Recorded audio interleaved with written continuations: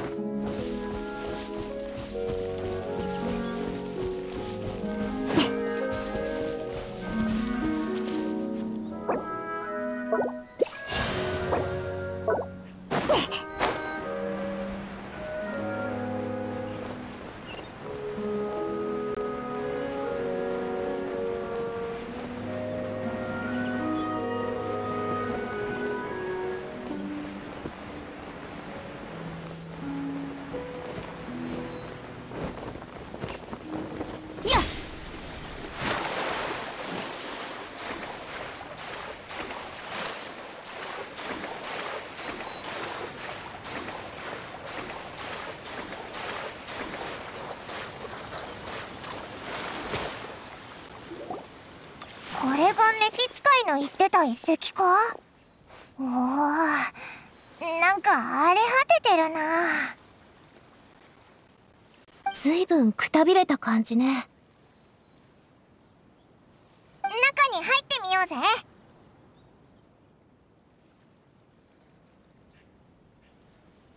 くれぐれも気をつけてね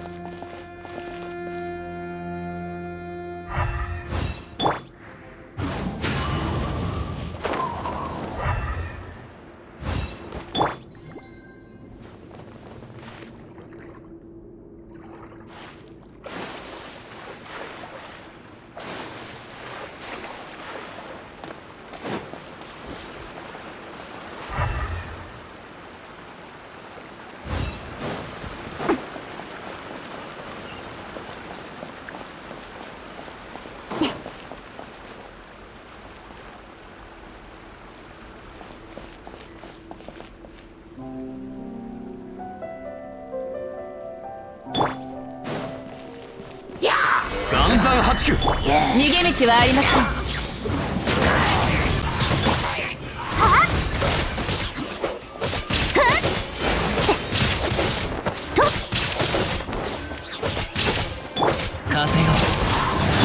見切りました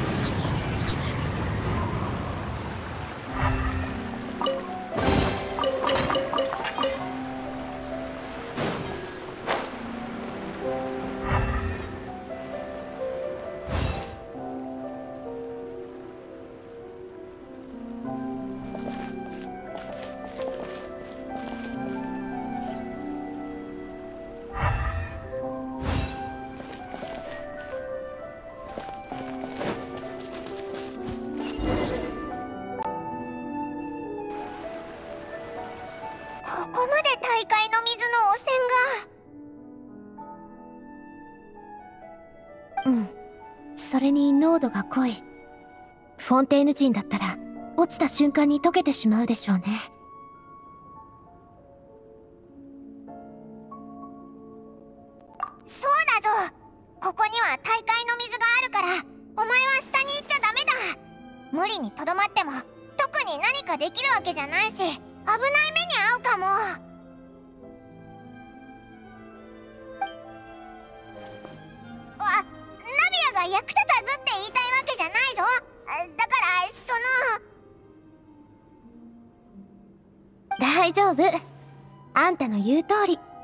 この状況では私は確かに力になれないね。じゃあここは任せた。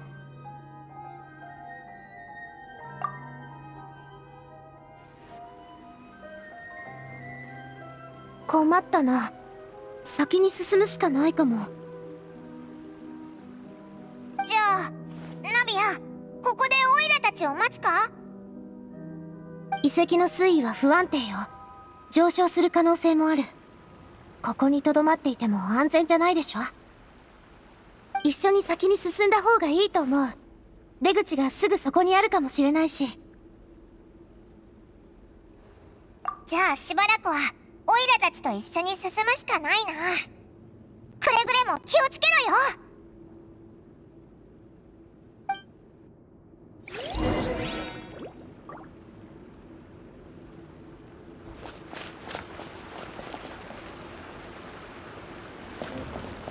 道が途切れた。厄介だな。あっちから行こう。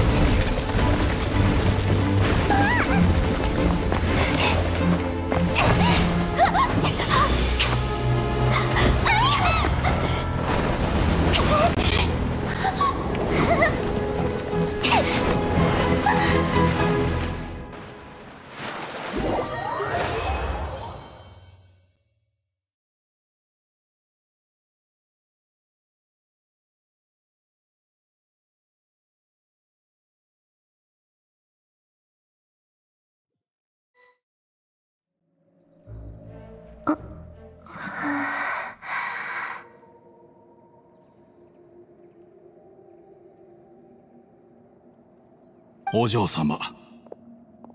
お嬢様。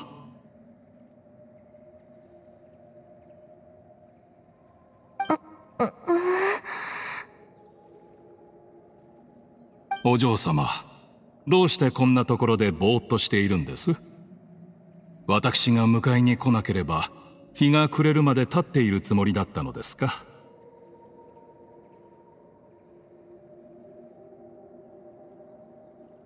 お嬢様は自分の時間が欲しいだけなのかもしれない。あれ？あ私寝てたの？そのように見えました。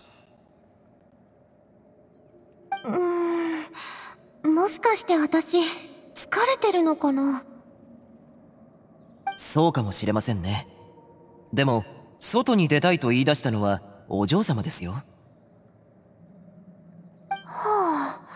思い出せないなんて。うーん寝ぼけてるのかな。私今日はお昼寝してないよね。すごくよく知っている感覚。でも少しおかしい。お嬢様どうされましたか？いや何でもない。単にどうして外に出ようとしたんだろうって。覚えていらっしゃるか分かりませんが国外の商人との債務問題でジベルニーさんが私たちに援助を求めてきたことがあります。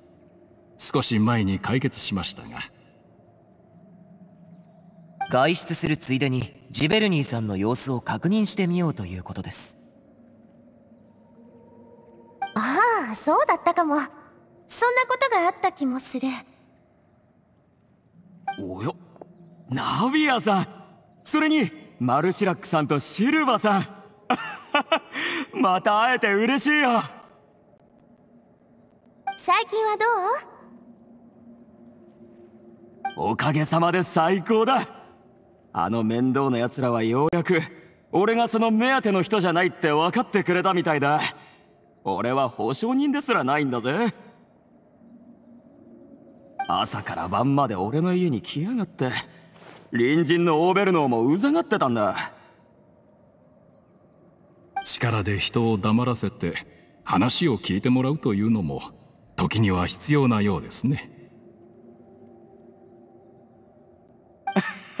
間違いない。あそうだベネッティ。この前ナビアさんに何をあげるって言ってた？ああ少しお待ちを。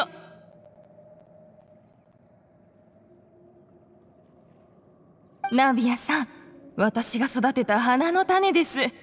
どうか受け取ってくれませんか？すごくいい品種なんですよ。とても大きくて綺麗な花が咲くんです。我が家の問題はナビアさんがいなければ解決することはできませんでした。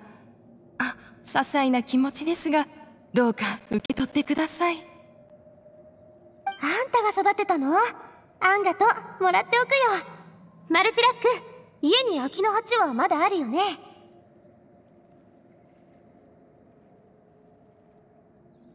お嬢様のお望みでしたら秋の鉢はいくらでも。じゃあ決まり。育育ったら観葉植物を全部ベネッティさんがくれた花に変えましょうかしこまりました。待って何かがおかしい。奥さん私の聞き間違いじゃなければお名前はベネッティよね。はいそうです。それが何か？ううん。初対面なのにあんたの名前は聞き覚えがあるような感じがするわ。もしかしたら前回旦那さんと話をした時に聞いたのかもね。私は絶対にその名前をどこかで聞いた。そう。つい最近。間違いない。そうだ。どうしてここはこんなに人が少ないの？みんなどこに行ったの？お嬢様お時間にご注意を。私たちは本日他にも重要な用事がございますので。え何があるの？おや？まさかお忘れですか？ナビアさんここにいたのね。ずっと探してたんだから。早く歌劇場に向かって。ナビアさんの審判がもうすぐ始まるわ。私の審判？あ、私、歌劇場に行かなきゃいけないの？そうですお嬢様。間もなくお時間ですので出発しましょう。え？わかった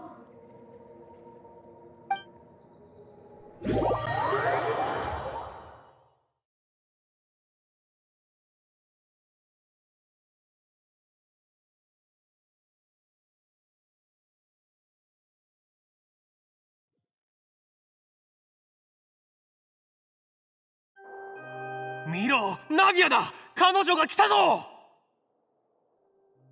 それにあの二人の従者もやっと来たわね。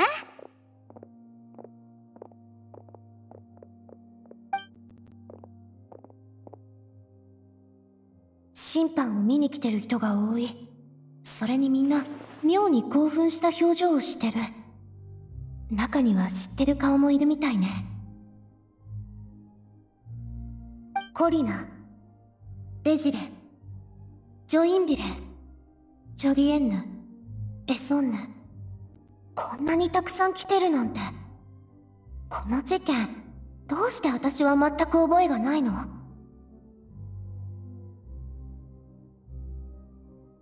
審判官はあれ？ヌビレットさんがいない？お嬢様被告席へどうぞ。ご安心ください。私とシルバが付き添いますので。分かった。でも私の後ろに立ってていいの？いつもなら許されないでしょう。ですが今日はいささか特別ですから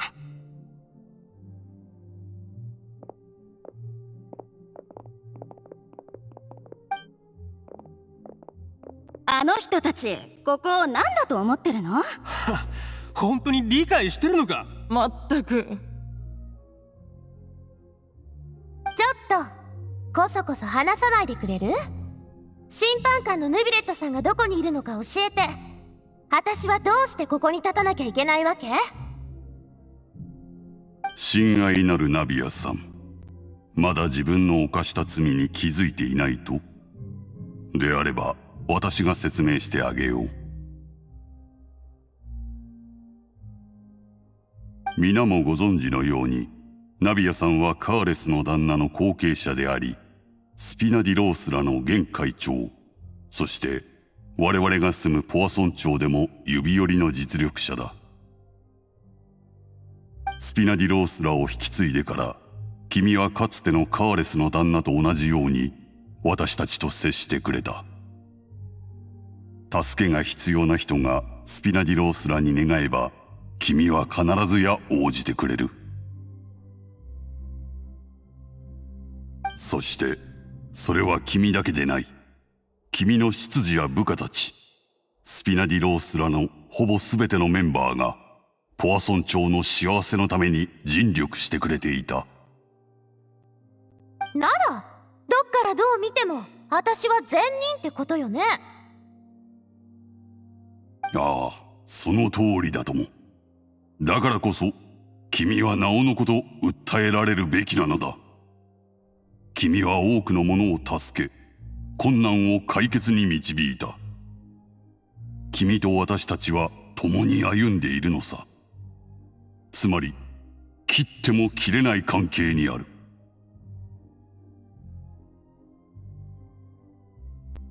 ポアソン町全体が一つの大きな家族であり私たち全員が固く結ばれている。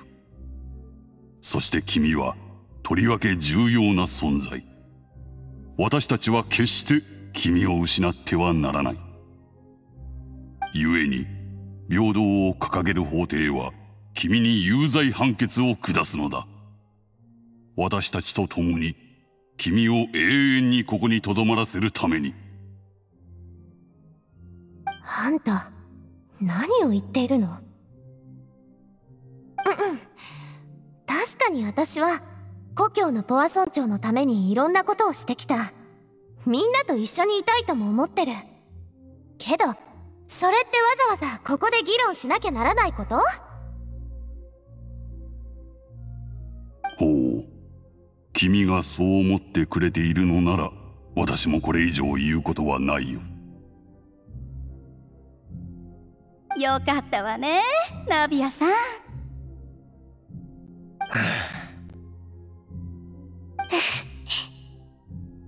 みんなこの見知った人たちはどうして全員笑ってるの？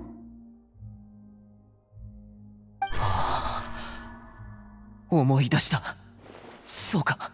分かったぞ。この審判はいえ違います。待ってください。そうではありません。マルシラック？マルシラックさん何を言い出すんだ？私たちの考えは寸分たがわない。さあ法廷よ彼女に判決を下すのだ。有罪判決を。ここに残ってナビアあなたは私たちの一員なんだから。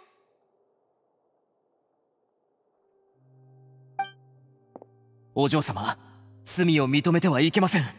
これはお嬢様を永遠にここに閉じ込めるための審判です。弁護権を行使します。ジョインビレさんあなたはお嬢様の優しい一面のみを見ています。彼女は優しさを持つと同時に完全に独立した考えを持った人間ですそれをあなたはご存じないのでしょう。お嬢様は生まれながらにして自由で独立心が強く何者にも縛られてこなかった。たとえカーレス様の死を前にしてもお嬢様はその歩みを止めていない。お嬢様がされてきたことは何かしらのグループの一員であることを辞任する証明にはなりません。彼女は単に個人として他の方々に優しい手を差し伸べているだけなのです。その違いをどうかご理解ください。なるほど。個人としてか。だが忘れるな。私たちはフォンテーヌ人ここは正義の国で水の国であることを。ナビアさんが個人の意志でそう決めたとしてもその素晴らしい魂が最終的に皆のところに帰ることには影響しない。水は全てを受け入れ全てを融合させる。当然彼女のその善意も例外じゃない。水の国では全てのものが計られやがて皆一つとなる。見解が一致した時その見解こそが正義そのものを表す。今の私は全てのものを代表した存在だ。私たちの見解はいずれも完全に一致している。ナビアさんはここに残るべきでありナビアさんと私たちは一つであると。それがあなたたちの言う正義ですか？滑稽にも程があります。あなたたちはただお嬢様にまだ個体として存在する望みが残っていることを妬んでいるだけに過ぎません。忘れないでいただきたい。あなたたちもかつて独立した自由な個体になりたいとどれほど願っていたかを。あなたたちは私たちに属する正義に背くのか。その正義が花から間違っているならそれを認める必要もない。そちらの理屈であれば私たちも自分の正義を掲げることができます。私とシルバはお嬢様を守りましょう。これが私たちの正義を貫く手段なのです。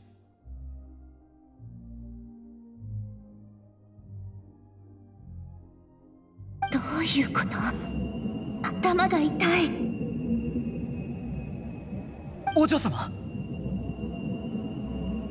シルバなんだか頭がクラクラする。気分が悪いの。目の前に星が飛んでるみたい。そっか。ずっと奇妙に感じてた理由が今分かった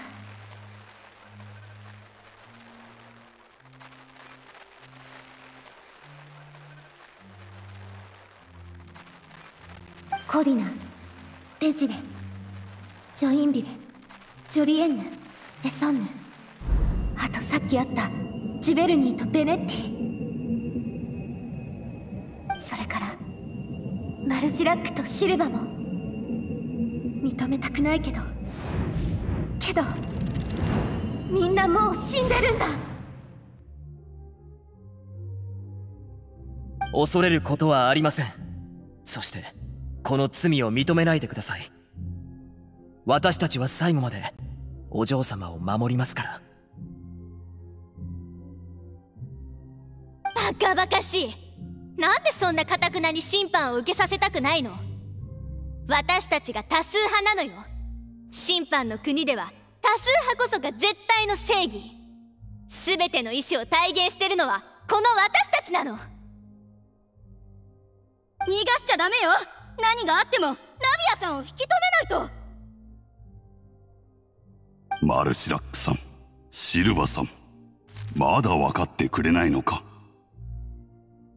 たった二人でどうやって集団に逆らうというのだ。抵抗は諦めろ。これは崇高な審判でありナビアさんは私たちに属すべきなんだ。あんなことがあったのだし。孤独なポアソン町に一人残すべきではない。あんたたち一体？もう言い訳は聞きたくない。俺たちが妬んでいるだって？彼女が独立した個体なわけないだろみんな様子が誰が彼女を妬むというの？最初から俺たちに属してるじゃないか。そうだろ。ナビアさん。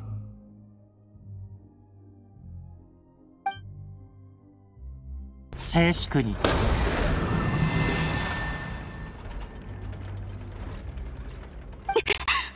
この声は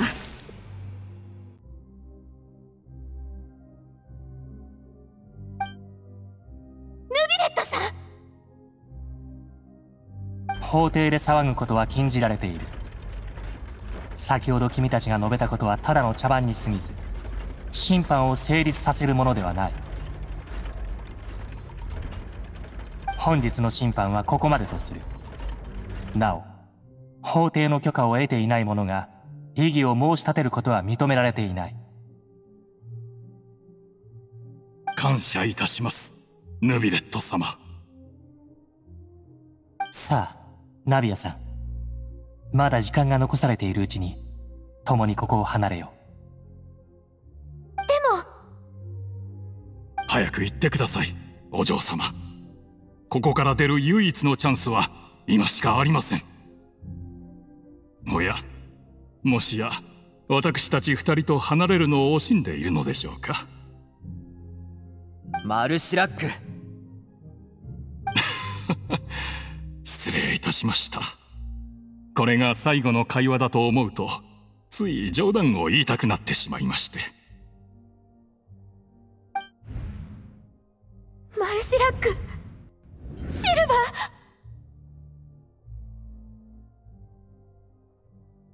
ー。急げ。さようならお嬢様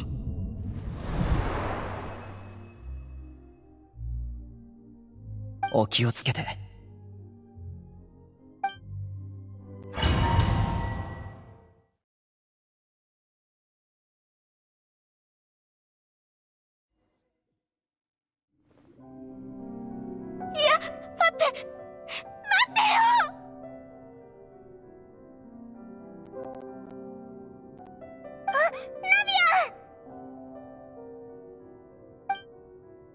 目が覚めたか体も無事なようで何よりだ。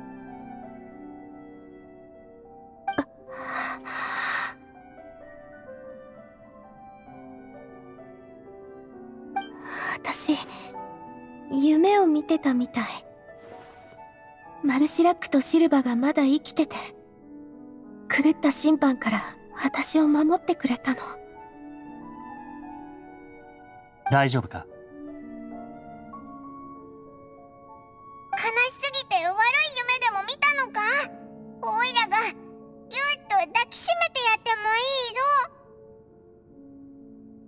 先ほど私がここに着いた時君たちのいた場所が崩れナビアさんが水面へ落ちていく瞬間を見た。本来であれば一瞬でも水に触れれば溶けてしまうのだが。うん。何があったの？うっすらとだが2匹の純粋精霊が君を受け止めて保護している姿を目にした1秒にも満たないほんのわずかな時間だったがそのおかげで救助する猶予ができたのだ。もし彼らがいなければ救い出す前に君の意識は消えていただろう。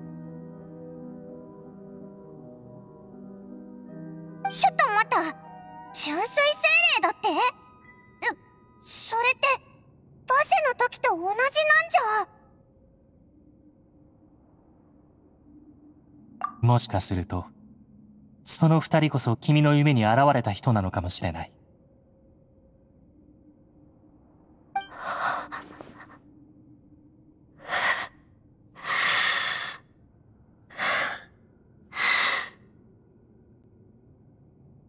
声はいらないって。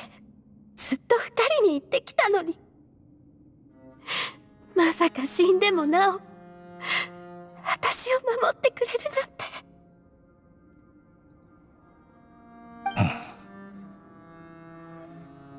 っちに来てくれ。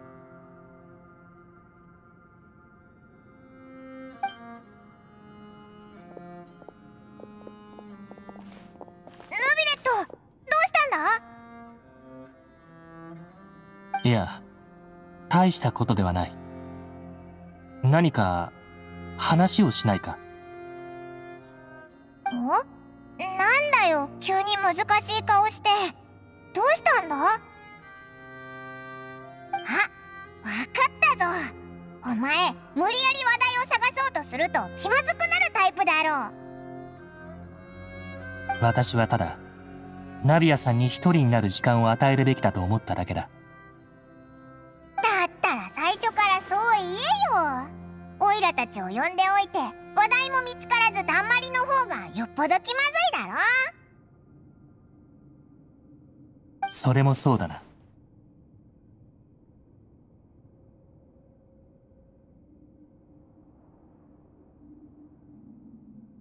シグウィンか。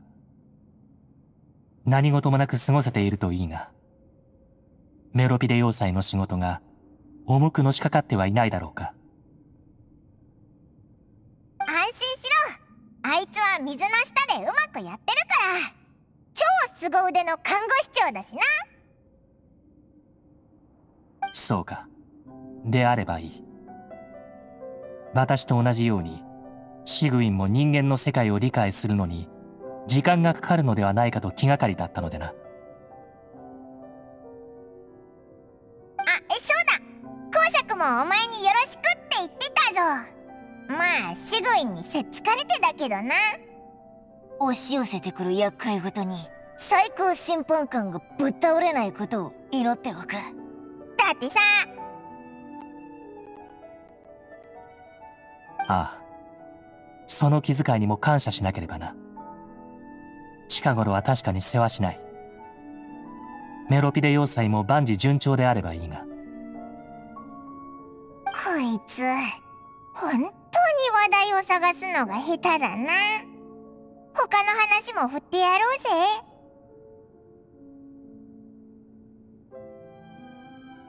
ヌビレットお前ってその泳ぐのが得意だろ？ふむ。当然その通りだが。えいい今のはなし。別の話題にするな。お前どうやってこの遺跡を見つけたんだ？召使いに教えてもらったのか？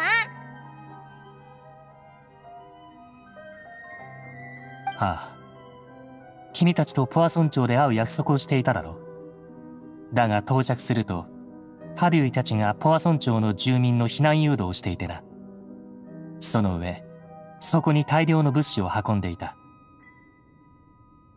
唖然としていたところたまたまその場に居合わせた召使いを見かけこの古代遺跡の調査を君たちに依頼したと聞いたのだ。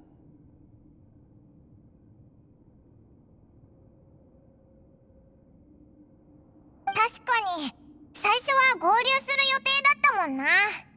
遺跡を探索するくらいならあまり時間がかかんないしお前もまだ公文書を読んでて離れられないと思ってたんだけどまさかこんなに早く片付けて駆けつけるなんてな。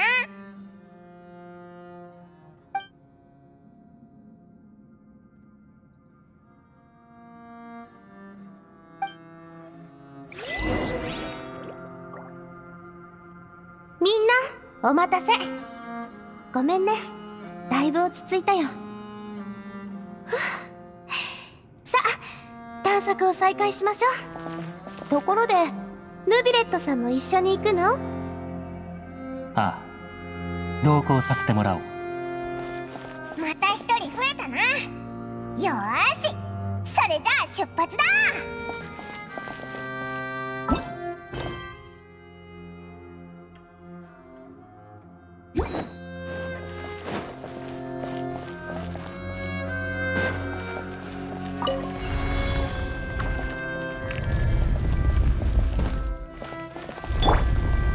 逃げ道はありません。剣女盤石。風よそこだ。お道は。散らまくおしん風の行く先を。はっ？そこだ。それ。だだこんだら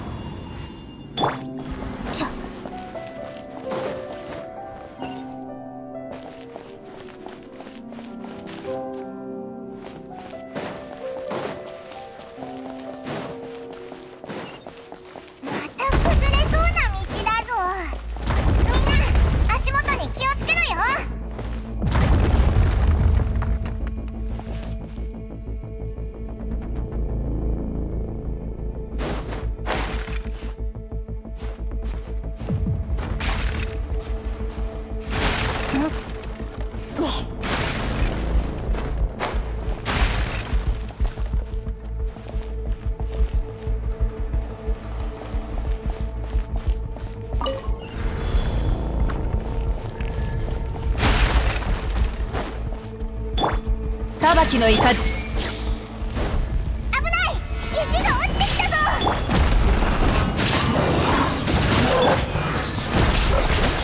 はっはっ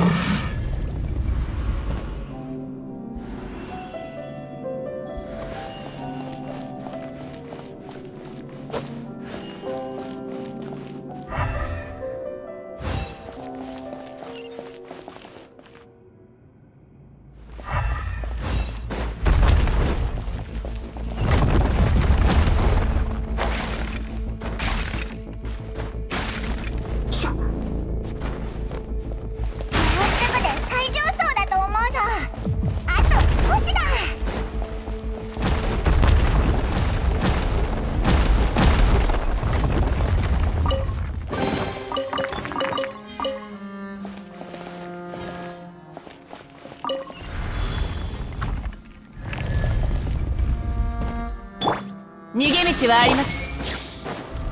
いやいや。岩山発球マイ雲が借りなく時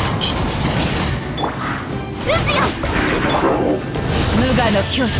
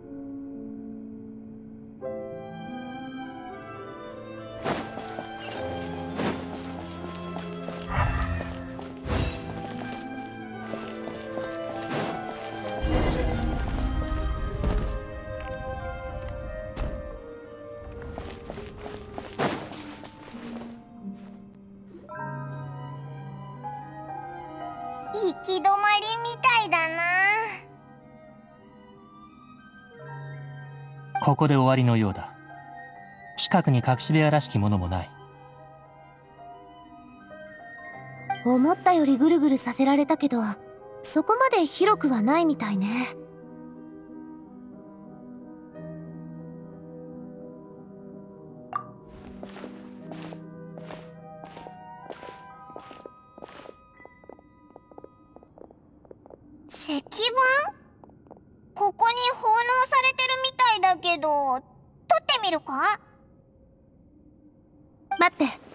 まり不用意に触るのはやめときましょう。う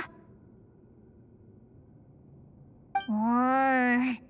台座が4つに対して石板は3つしかないな。1つ目の台座にはまってたはずの石板がないぞ。近くの壁も崩れている。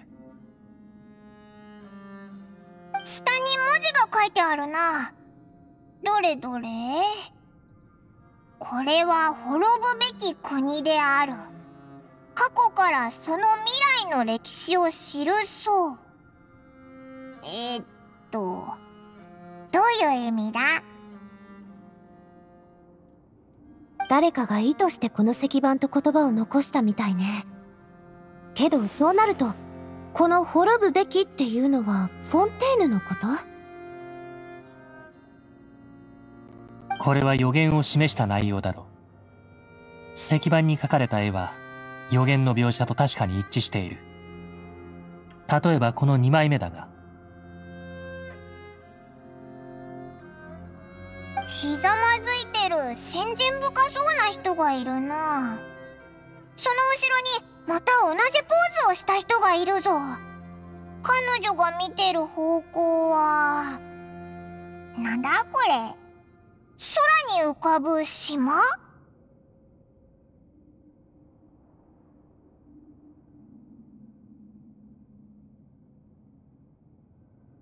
？3枚目の絵の真ん中にいる人はフリーナ様？水神様が水に落ちたってこと？それに周りを人が囲んでるな。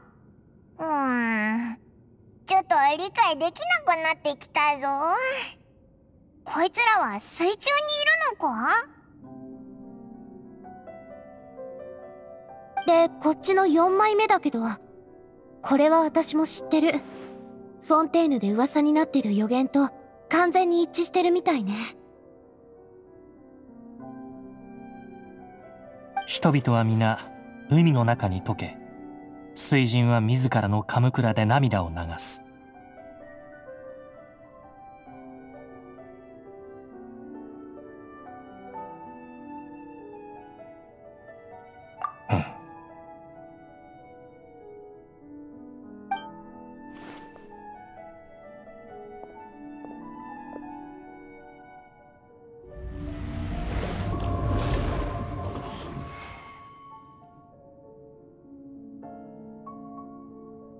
この一連の石板には他にも多くの情報が隠されているのだろう。だが私にはその意味を全て読み解くことができそうにない。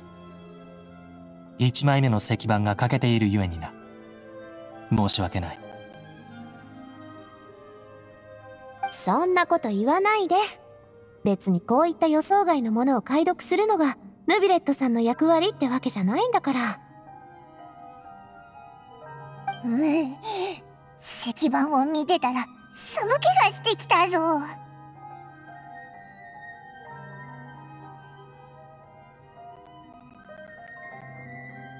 って怖くないか？これってつまり未来の歴史ってことだろ？この予言って絶対に当たるんだよな。こんな未来に立ち向かうのはさすがに遠慮したいところねでもこの絵をつなげてみてみるとどっかおかしい気がしないか？うーん。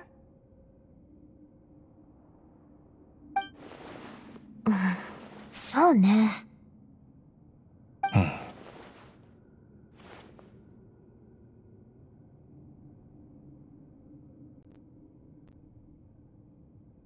確かにもしこの4枚の絵が時系列順に並んでるとしたら4枚目のフォンテーヌが水没する絵が先で次に3枚目の水神様が水に落ちる絵になるはずだよね。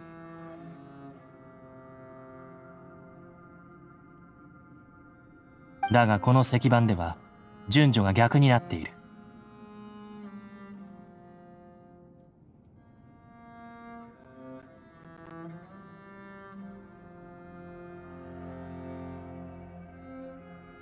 これが時系列通りなら3枚目にフリーナ様がいるしこの2枚目に書かれてる方は先代の水神様なのかも？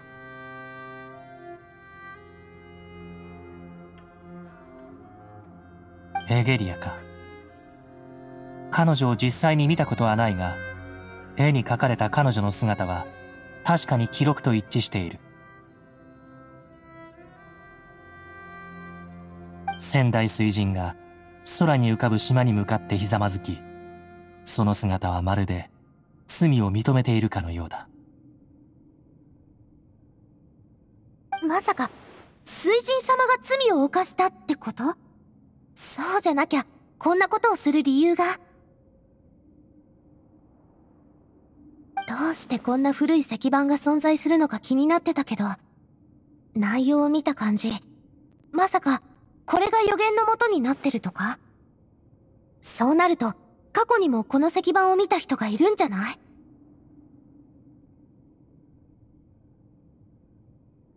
だったら石板を作ってこの言葉を残した人は誰なんだ？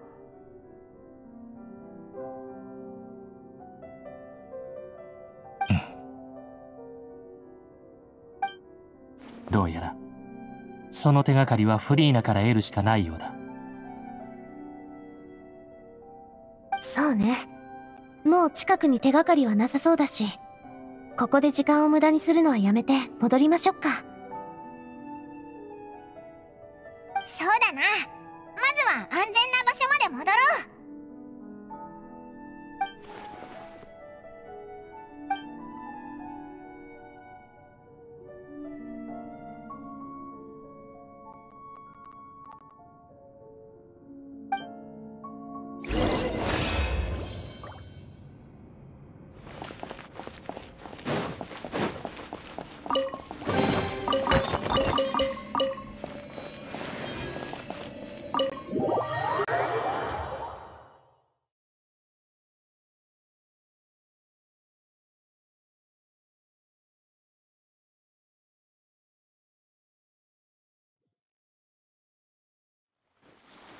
ここで別れましょう。一応まだスピナディロースラの方を見ておきたいからね。ほら助けてもらっているにせよ自分の目で見といた方がいいことって多いしその方が安心でしょ？あちこち走り回ったのにまだそんな体力があんのかよ。元気だな。おいらはクタクタでもう倒れそうだぞ。今夜はサンドル川に戻って休んでちょうだい。長いこと付き合ってくれてあんがとね。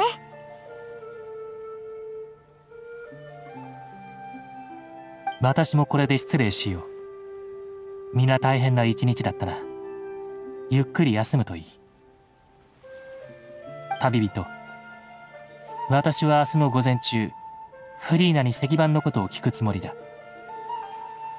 君もきっと気になっていることだろう。時間があれば明日の午前中に私の執務室へ来るといい。聞いたことを共有しよう。本当にフリーナに直接聞くのか？大丈夫かな？どんどん真相に近づいてるはずなのに逆に恐怖が増していってるぞ。彼女はずっと秘密を隠しているそうやすやすと譲歩することはないだろう。だがそうであればあるほど私は自分の役割を果たし彼女に現状を理解させなければならない。おしっかり頼んだぞ。何しろフリーナと話せるような立場の人ってお前しかいないし。今夜どう話を切り出すか慎重に検討しておこう旅人バイモサンドル川にあるスピナディロースラの拠点は変わらずあんたたちを歓迎してるからね。安心して泊まってちょうだい。それじゃまたね。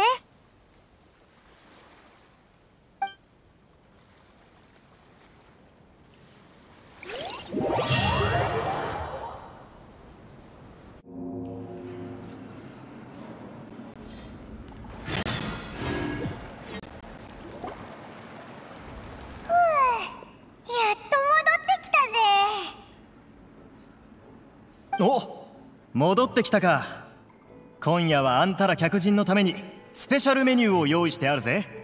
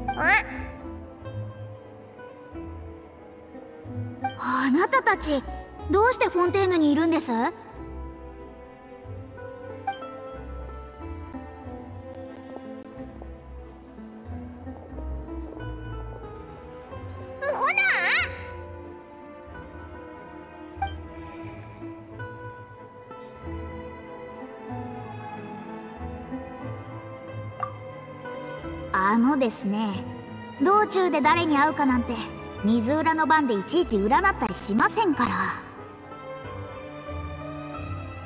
モナがフォンテーヌにいるってことはお前やっぱりフォンテーヌ人だったのか？フォンテーヌには用事があって市内にホテルを取ってあるんです。今日は辺りを散策していたのですがまさかあなたたちに会うとはでもパイモンはどうして私がフォンテーヌ人だと思ったんです？メギストスがモンドのせいに聞こえないからでしょうか？うんそうだぞ。まあ私も昔は自分のせいを持っていましたよ。いやこれは話さなくてもいいことですね。とにかくおばばに弟子入りした後偉大なる先生術師になるための第一歩はそのせいに変えることだと言われまして。まあそこに関しては仕方ありません。おばばは優れた先生術師ですからね。言われた通り今のせいに変えたんです。でもその時はメギストスが古の一族を代表したものじゃないとは知りませんでしたが。あれ違うのか？はいメギストスは私やおばばが性の代わりに使っていますが一般的には偉大なるという意味で解釈されています。自分を称えるような言葉を名前に入れるなんて。まさかその部分も家系図に載せるつもりじゃないだろうな。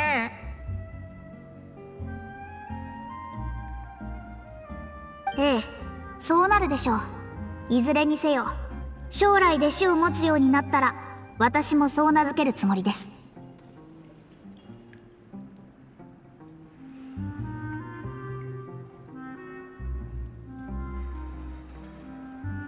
アストロマンサー・バーベロス・トリスメギストスです。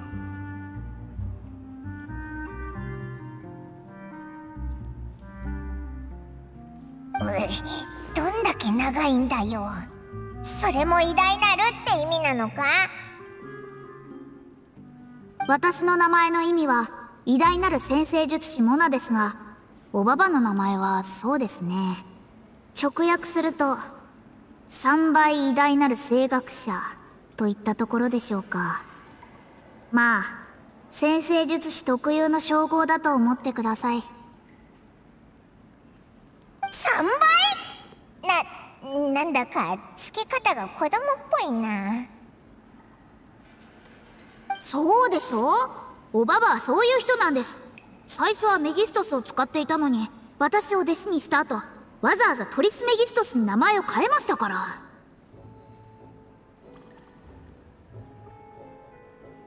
2倍どころかそれ以上にするなんて。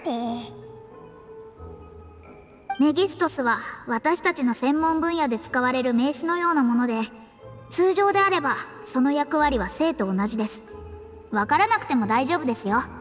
先生術を深く勉強する必要がある時に知っていただければ問題ありません。おい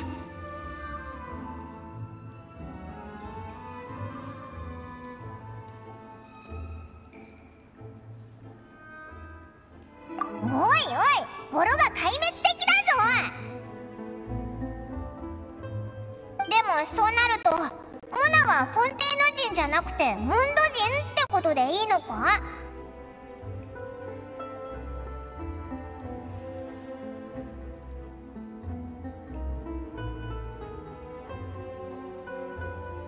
ええ私はモンド生まれですよ。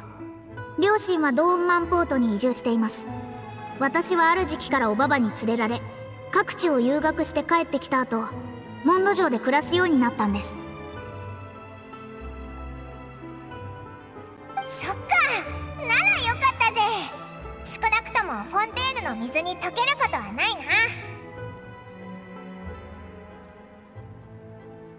な。そういえば最近フォンテーヌでいろんなことが起きているのを知っていますよね。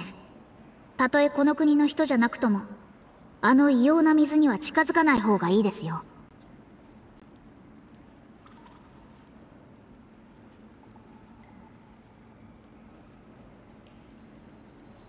なんだか嫌な予感がしますからあの水はかなり厄介そうです。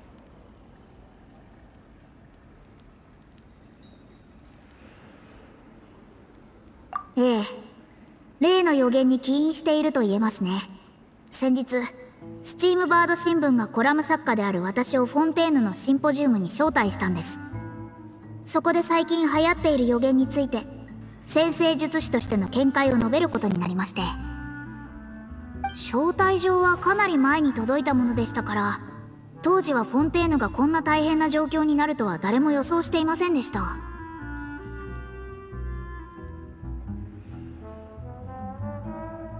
の予言のことモナはどう思ってるんだ？先生術師の意見をせめてそれが現実になるかどうかだけでも聞かせてくれないか？じゃないとおいら不安で仕方なくって。確かに私は先生術師ではありますがあの予言はフォンテーヌひいてはテイワット全体の運命に関することです。それを確認することは世界全体を占うことを意味します。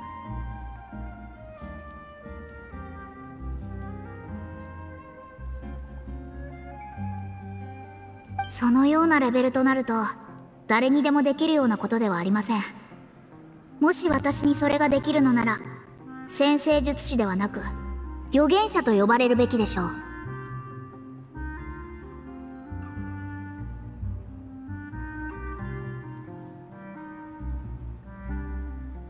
ただ逆に考えるとあの予言には比類ない力があります。きっと強大な預言者によるものなのでしょう。その内容は世界の運命に関わるものであり根拠がないからとないがしろにするのは絶対に間違っています。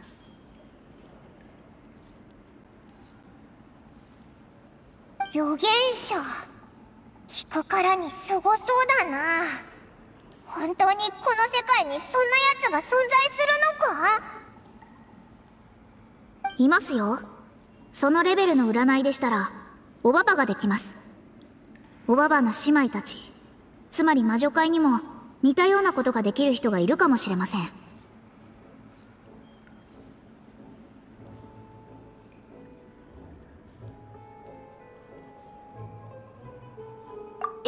ああなた本気ですか？わかりました。こんなに真剣なあなたを見るのは珍しいですし私も協力しましょう。おばばに連絡できたらすぐに知らせます。ありがとな。モナって本当に頼りになる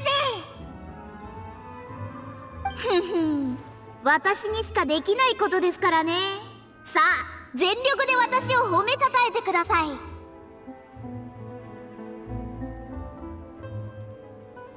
最も偉大な先生術師。モナ様オイラたちの知り合いの中じゃ。お前より星に詳しいやつはいないぜ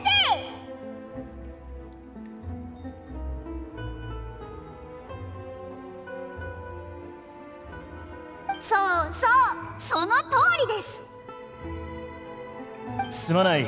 入り口の方から何やら騒がしい声が聞こえたんだがもし何か手が必要なら気兼ねなくスピナディロースらに声をかけてくれ。うまずい。テンションが高まりすぎて注意されてしまいました。そそれでは私は用事を済ませてくるので情報があったらまた連絡します。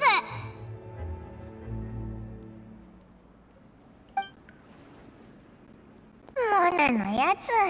そそくさと逃げてったな。スピナディロースラの人がオイラたちのことを疑いの目で見てるぞ。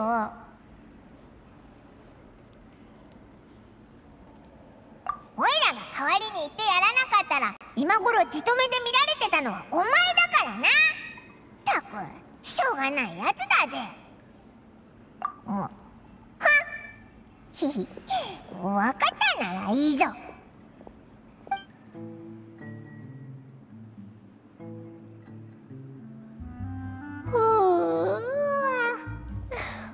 きれたけどまだ少し眠いぞ。今日はヌビレットのところに行くんだろ？早く準備して出かけようぜ。